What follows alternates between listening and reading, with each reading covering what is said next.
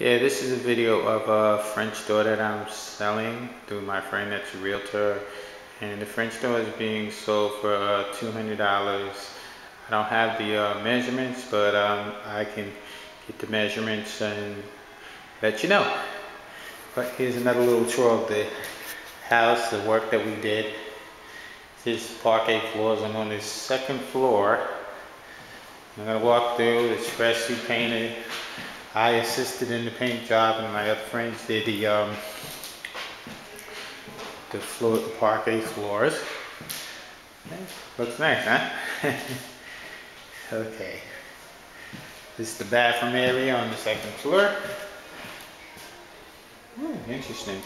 Need more French doors, but we only have one French door for sale.